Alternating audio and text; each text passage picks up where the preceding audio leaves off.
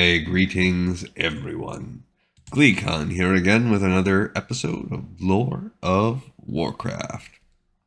So, in our last episode, we uh, began the novel The Day of the Dragon, and Rhonin was selected by the Council of Archmages at Dalaran to to go on a mission to watch, ostensibly, the uh, what's it called? Um, the place of the Twilight Hinterlands, the dungeon, um, and not Khaz Modan, but uh, dang it, in Khaz Modan, Tolbrad. Um, and really, though, the point, and this is kind of what Krasus was hinting at, is that really we want to set in motion events that will lead to Alex Alexstrasza getting set free. So stay a while listen to this one. We're going to start chapter two of the Day of the Dragon. Vereesa did not like waiting. Most people thought that elves had the patience of glaciers, but younger ones such as herself, just a year out of her apprenticeship with the Rangers, were very much like humans in that one regard. She had been waiting three days for this wizard she was supposed to escort to one of the eastern ports serving the Great Sea. For the most part, she respected wizards as much as any elf respected a human, but this one had earned nothing but her ire. Vereesa wanted to join her sisters and brothers, help hunt down each and every remaining orc still fighting, and send the murderous beasts to their well deserved deaths. The ranger had not expected her first major assignment to be playing nursemaid to some doddering and clearly forgetful old mage. One more hour, she muttered. One more hour, and then I leave. Her sleek chestnut brown elven mare snorted ever so slightly. Generations of breeding had created an animal far superior to its mundane cousins, or so Vereesa's people believed. The mare was in tune with her rider, and what would have seemed to most nothing more than a simple grunt from the horse immediately sent the ranger to her feet, a long shaft already notched in her bow.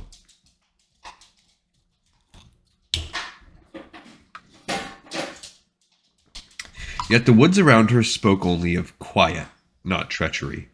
And this deep within the Lordaeron alliance, she could hardly expect an attack by either orcs or trolls. She glanced in the direction of the small inn that had been designated the meeting place, but other than a stable boy carrying hay, Vereesa saw no one. Still, the elf did not lower her bow.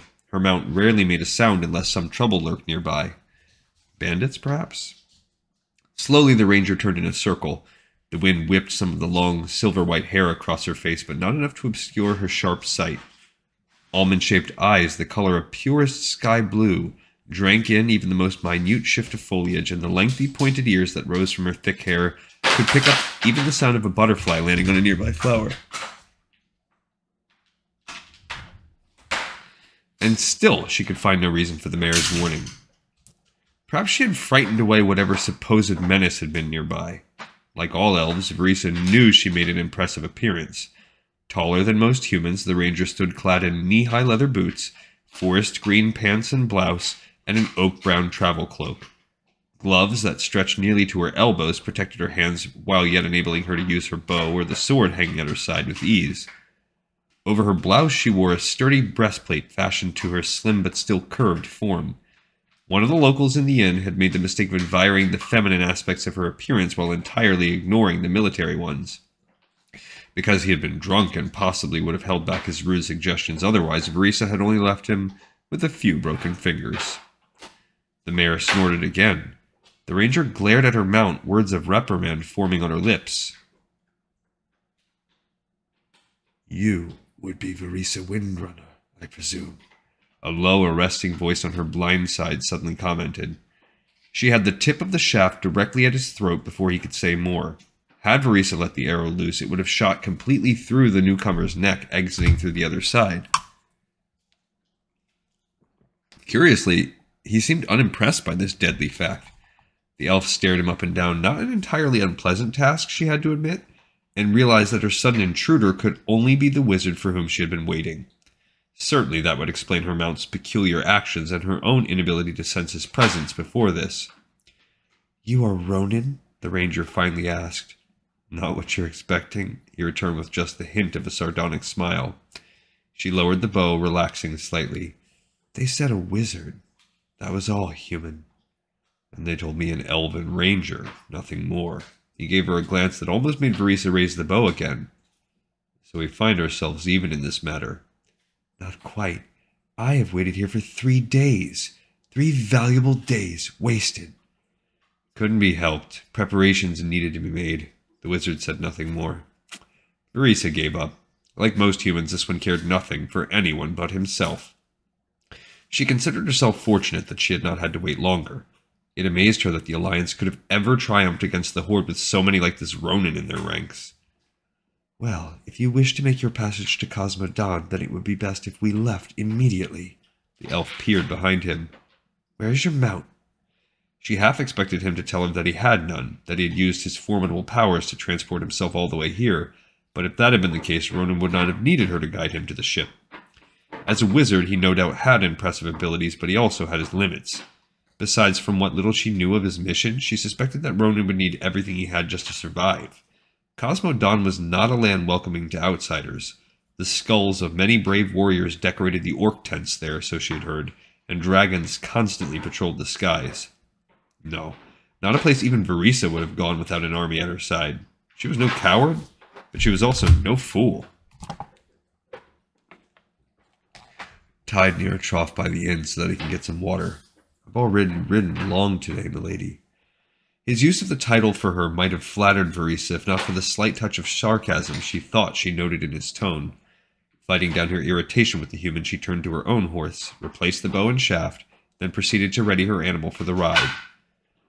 My horse could do with a few more minutes' rest, the wizard suggested, and so could I. You will learn to sleep in the saddle quickly enough, and the pace I set at first will enable your steed to recoup.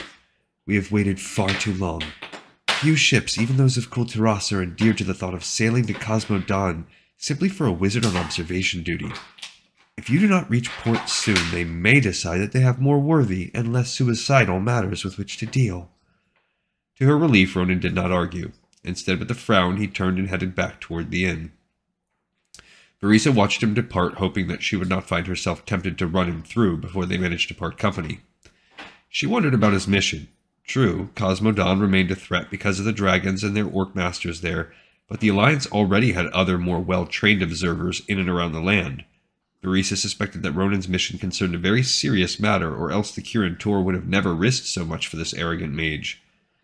Still, had they considered the matter well enough when they had chosen him? Surely there had to have been someone more able and trustworthy. This wizard had a look to him, one that spoke of a streak of unpredictability that might lead to disaster. The elf tried to shrug off her doubts. The Kirin had made up their minds in this matter, and Alliance Command had clearly agreed with them, or else she would not have been sent along to guide him. Best she put aside any concerns. All she had to do was deliver her charge to his vessel, and then Vereesa could be on her way. What Rhonin might or might not do after their separation did not concern her in the least. For four days they journeyed, never once threatened by anything more dangerous than a few annoying insects. Had circumstances been different, the trek might have seemed almost idyllic, if not for the fact that Rhonin and his guide had barely spoken with one another all that time. For the most part, the wizard had not been bothered much by that fact. His thoughts focused on the dangerous task ahead. Once the Alliance ship brought him to the shores of Khaz Modan, he would be on his own in a realm still overrun not only with orcs but patrolled from the sky by their captive dragons. While no coward, Rhonin had little desire to face torture and slow agonizing death.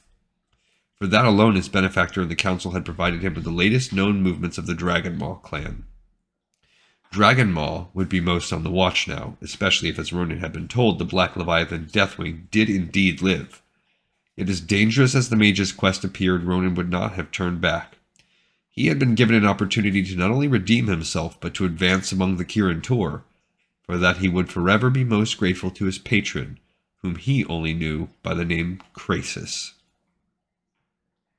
The title was surely a false one, not an uncommon practice among those in the ruling council. The masters of Dalaran were chosen in secret, their ascension known only to their fellows, not even their loved ones. The voice of Rhonin's benefactor could be nothing like his true voice, if male was even the correct gender. It was possible to guess the identities of some of the inner circle, but Krasus remained an enigma even to his clever agent. In truth, though, Rhonin barely even cared about Krasus's identity anymore. only that through him the younger wizard could achieve his own dreams. But those dreams would remain distant ones if he never made his ship. Leaning forward in the saddle, he asked how much farther to Hasic. Without turning, Vereesa blandly replied, Three more days at least. Do not worry, our pace will now get us to the port on time. Rhonin leaned back again. So much for their latest conversation, only the second of today. The only thing possibly worse than riding with an elf would have been traveling with one of the dour Knights of the Silver Hand. Despite their ever present courtesy, the paladins generally made it clear that they considered magic an occasional necessary evil, one with which they would do without at all other times. The last one that Rhonin had encountered had quite clearly indicated that he believed that after death, the mage's soul would be condemned to the same pit of darkness shared by the mythical demons of old. This, no matter how pure Rhonin's soul might have been otherwise. The late afternoon sun began to sink among the treetops, creating contrasting areas of brightness and dark shadow among the trees. Hmm. Rhonin had hoped to reach the edge of the woods before dark, but clearly they would not do so. Not for the first time, he ran through his mental maps, trying not only to place their present location, but verify what his companion had said about still making the ship. His delay in meeting with Vereesa had been unavoidable, the product of trying to find necessary supplies and components. He only hoped it would still not prove to jeopardize his entire mission to free the Dragon Queen. An impossible, improbable quest to some, certain death to most. Yet even during the war, Rhonin had, had proposed such. Clearly, if the Dragon Queen were freed, it would, at the very least, strip the remaining orcs one of one of their greatest weapons. However, circumstance had never enabled such a monumental quest to come to fruition. Rhonin knew most of the council hoped he would fail. To be rid of him would be to erase what they considered a black mark from the history of their order. This mission had a double edge to it. They would be astounded if he succeeded, but relieved if he failed. At least he could trust in Krasus. The wizard had first come to him asking if his younger counterpart still believed he could do the impossible.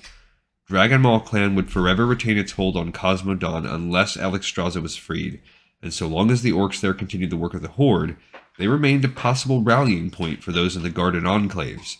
No one wanted the war renewed. The Alliance had enough strife within its own ranks to keep it busy. A brief rumble of thunder, thunder disturbed Rhonin's contemplations. He looked up but saw only a few cottony clouds. Frowning, the fiery haired spellcaster turned his gaze toward, gaze toward the elf, intending to ask her if she too had heard the thunder. A second, more menacing rumble set every muscle taut. At the same time, Vereesa leapt at him, the ranger somehow having managed to turn in the saddle and push herself in his direction. A massive shadow covered their surroundings. The ranger and the wizard collided, the elf's armored weight shoving both off the back of Rhonin's own mount. An ear-shattering roar shook the vicinity, and a force akin to a tornado ripped at the landscape. As the wizard struck the hard ground, through the shock of pain, he heard the brief whinny of his mount, a sound cut off the next moment. Keep down, Vereesa called above the wind and roaring. Keep down! Rhonin, though, twisted around so as to see the heavens, and saw instead a hellish sight. A dragon the color of raging fire filled the sky above. In its forepaws it held what remained of his horse and his costly and carefully chosen supplies. The crimson leviathan consumed in one gulp the rest of the carcass, eyes already fixed on the tiny pathetic figures below. And seated atop the shoulders of the beast, a grotesque greenish figure, with tusks and a battle axe that looked nearly as large as the mage, barked orders in some harsh tongue and pointed directly at Rhonin. Maw gaping and talons bared, the dragon dove toward him. I thank you again for your time, your majesty, the tall black haired noble said in a voice full of strength and understanding. Perhaps we can yet keep this crisis from tearing your good work asunder. If so, returned the older bearded figure clad in the elegant white and gold robes of state, Lordaeron and the Alliance will have much to thank you for, Lord Prester. It's only because of your work that I feel Gilneas and Stromgarde might yet see reason. Although no slight man himself, King Terenas felt a little overwhelmed by his larger companion. The younger man smiled, revealing perfect teeth. If Terenas could have found a more regal looking man than Lord Prester, he would have been surprised. With his short, well groomed black hair, clean shaven, hawk like features that had set many of the women of the court a twitter, quick mind, and a bearing more princely than any prince in the alliance, it was not at all surprising that everyone involved in the Alterac situation had taken to him, Genn Greymane included. Prester had an engaging manner that had actually made the ruler of Gilneas smile on a rare occasion, so Terenas' marveling diplomats had informed him. For a young noble, whom no one had even heard of prior to five years before, the king's guest had made quite a reputation for himself. Prester came from the most mountainous, most obscure region of Lordaeron, but could claim bloodlines in the royal house of Alterac as well. His tiny domain had been destroyed during the war by a dragon attack, and he had come to the capital on foot without even one servant to dress him. His plight and what he had made of himself since his arrival had become the thing of storybook tales. More important, his advice had aided the king many times, including during the dark days when the Grang monarch had debated on what to do about Lord Perenolde. Prester had in fact been the swaying factor. He had given Terenas the encouragement needed to seize power in Alterac, then solidify martial law there. Stromgarde and the other kingdoms had understood the need for action against the traitorous Perenolde, but not Lordaeron's continued holding of that kingdom for its own purposes after the war had ended. Now at last, Prester appeared to be the one who could explain it all to them and make them accept any final decision which had of late made the aging, broad featured monarch mull over a possible solution that would stun even the clever man before him. Terenas refused to turn over Alterac to Perenolde's nephew, whom Gilneas had tried to support. Nor did he think it wise to divide the kingdom in question between Lordaeron and Stromgarde. That would surely earn the wrath of not only Gilneas but Kul Tiras even. Annexing Alterac completely was also out of the question. What if, though, he placed the region in the capable hands of one admired by all, one who had shown he wanted nothing but peace and unity, an able administrator, too, if King Terenas were any judge, not to mention someone certain to remain a true ally and friend to Lord Lordaeron? No, indeed, Prester. The king reached up to pat the much taller lord on the shoulder. Prester had to be nearly seven feet in height, but while slim, he could hardly be called lanky Prester well fit his blue and black dress uniform, looking every inch the martial hero. You've much to be proud about, and much to be rewarded for. I'll not soon forget your part in this, believe me. Prester fairly beamed, likely believing he would soon have his tiny realm restored to him. Terenas decided to let the boy keep that little dream. When the ruler of Lordaeron proposed him as new monarch of Alterac, the expression on Prester's face would be that much more entertaining. It was not every day that someone became king, unless they inherited the position, of course. Terenas' honored guest saluted him then, bowing gracefully, retreated from the imperial chamber. The elder man frowned after Prester left, thinking that the silken curtains, the golden chandeliers, and even the pure white marble floor could not brighten the room enough now that the young noble had departed. Truly, Lord Prester stood out among the many odious courtiers flocking to the palace. Here was a man anyone could believe in, a man worthy of trust and respect in all matters. Terenas wished his own son could have been more like Prester. The king rubbed his bearded chin. Yes, the perfect man to rebuild the honor of a land and at the same time restore harmony between the members of the alliance. New and strong blood. Considering the matter further, Terenas thought of his daughter Calia, Still a child, but certainly soon to be a beauty. Perhaps one day, if matters went well, he and Prester could strengthen their friendship and alliance with a royal marriage, too. Yes, he would go talk to his advisers now, relate to them his royal opinion. Terenas felt certain that they would agree with him on this decision. He had met no one yet who disliked the young noble. King Prester of Alterac. Terenas could just imagine the look on his friend's face when he learned the extent of his reward.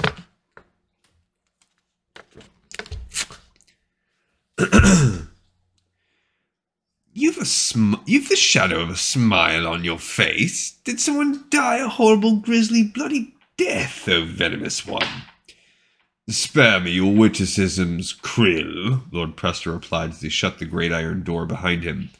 Above, in the old chalet given over to him by his host King Terenas, servants specifically chosen by Prester stood guard to see no that no unwarranted visitors dropped in. Their master had work to do, and even if none of the servants truly knew what went on in the chambers below ground, they had been made to know that it would be their lives if he was disturbed. Prester expected no interruptions and trusted that those lackeys would obey to the death. The spell upon them, a variation of the one that caused the king and his court to so admire the dashing refugee, allowed no room for second thoughts. He had honed its effectiveness quite well over time. Most humble apologies, O Prince of Duplicity, rasped the smaller, wiry figure before him.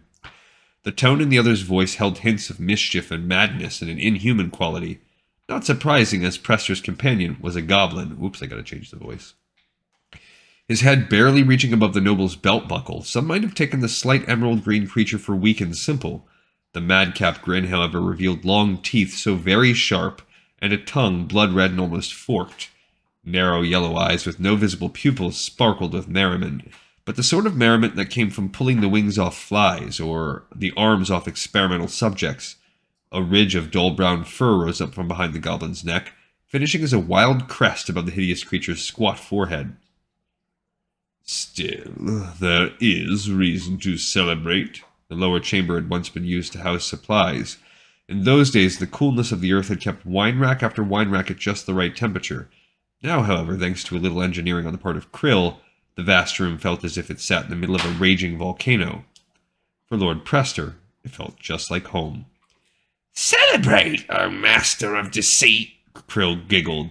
Kryll giggled a lot, especially when foul work was afoot. The emerald creature's two chief passions were experimentation and mayhem, and whenever possible he combined the two. The back half of the chamber was in fact filled with benches, flasks, powders, curious mechanisms, and macabre collections all gathered by the goblin. Yes, celebrate, Kryll. Prester's penetrating ebony eyes fixed unblinkingly on the goblin, who suddenly lost his smile and all semblance of mockery. You would like to be around to join that celebration, wouldn't you? Yes, master. The uniformed noble took a moment to breathe in the stifling air. An expression of relief crossed his angular features. Ah, how I miss it. His face hardened. But I must wait. Go only when necessary, eh, Kryll? As you say, master. The smile, now so very sinister, returned to Prester's expression. You are likely looking the next king of Alterac, you know. The goblin bent his narrow, muscular body nearly to the ground. Oh, hail his royal majesty, King Da- A clatter made both glance to the right. From a mental grate leading to an old ventilation shaft emerged a smaller goblin. Nimbly, the tiny figure pulled itself from the opening and rushed over to Kryll. The newcomer wore a fiendishly amused look on his ugly face, a look that quickly faded under Prester's intense gaze. The second goblin whispered something into Kryll's large pointed ear. Kryll hissed, then dismissed the other creature with a negligent wave of the hand. The newcomer vanished back through the open grate. What is it? Although the words came calmly and smoothly from the lips of the aristocrat, they also clearly demanded no hesitation on the part of the goblin to answer. Ah, gracious one. Kryll began, the madcap smile once more upon his bestial face. Luck is with you this day, it seems. Perhaps you should consider making a wager somewhere. The stars must truly favor. What is it? Someone, someone is attempting to free Alexstrasza. Prester stared. He stared so long and with such intensity that Kryll fairly shriveled up before him. Surely now, the goblin imagined, surely now death would come. A pity that there had been so many more experiments he had wanted to try, so many more explosives to test. At that moment, the tall black figure before him broke out laughing, a laugh deep, dark, and not entirely natural.